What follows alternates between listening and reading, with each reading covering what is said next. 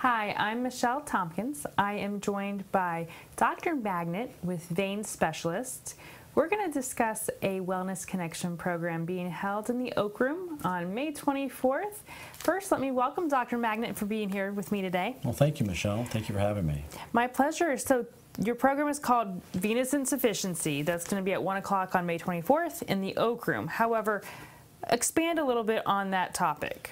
Well, Michelle, in the past, you know, you've been gracious to have uh, me uh, come talk to the to the uh, um, residents at Shell Point. Mm -hmm. and I, in the past, I've, I've given almost like a lecture.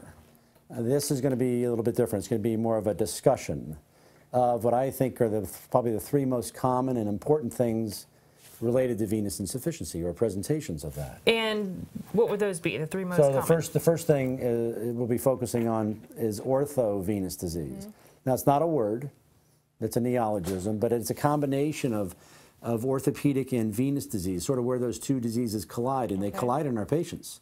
Many patients who have orthopedic disease, knees, hips, mm -hmm. ankles that are bad, also have venous disease. And in venous insufficiency, leaky veins, can really impact those patients' knee re replacements, those hip replacements, the rehab, and even before having the procedures, those orthopedic procedures can, can, can change the course if you identify and treat.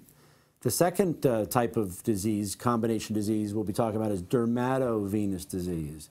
Venous insufficiency uh, presents oftentimes with dermatologic manifestations, so like discolored skin. Mm -hmm. Oftentimes dermatologists will look at the skin and say, well, it's discolored, it's inflamed, it's stasis, dermatitis, take this steroid cream, it's going to help with the inflammation, but it doesn't fix the underlying problem. So we need to sort of rethink of that, that process. I mean, it's not a, a dermatologic disorder, it's a presentation dermatologically of a vein disorder. And then the final thing, which is, uh, I think is really under the radar, is the trifecta, the nighttime trifecta of three different types of symptoms. Those are uh, nighttime leg cramps in Charlie horses, mm -hmm.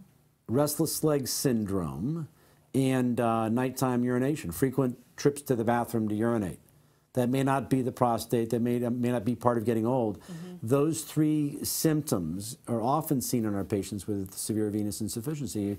And if we can, if we can identify it mm -hmm. with ultrasound, we can treat it and hopefully, uh, and oftentimes resolve that tri trifecta. Now, is one person more at risk than the other? What are the risk factors well, for this? The, the primary common thread with venous insufficiency is heredity. Mm. So, um, if you can't find somebody in your family who had it, and you have it, doesn't it really doesn't really matter because you have it. Mm -hmm. Other things that make it worse, I call them the exacerbating factors, are obesity, um, sedentary jobs or jobs you're standing a lot and not moving, advanced age. As we get older, the prevalence of this disease increases. Mm -hmm. I mean, as a rule of thumb, it's about 1% per year of age. So a 20 year old has about a 15 to 20% chance of having it. Can they have it? Absolutely. Yeah.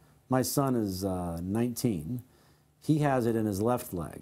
He can't see it, but he feels heavy and achy, and an ultrasound showed us severe disease. His mother has it, my wife.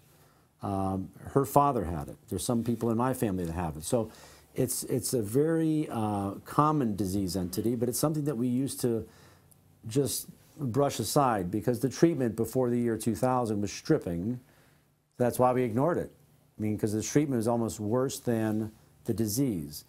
So with the new technology that's been out since 2000 of mm -hmm. sealing the veins from within under ultrasound guidance, uh, the, the whole landscape, I think, for patients with venous disease has changed significantly. And rather than being reactive to complications such as bleeding or thrombosis or non-healing wounds, now we can be a bit more proactive in evaluating patients for venous disease. Sure. So this is a lot of great information. I'm, I'm learning a lot about this just sitting here right now.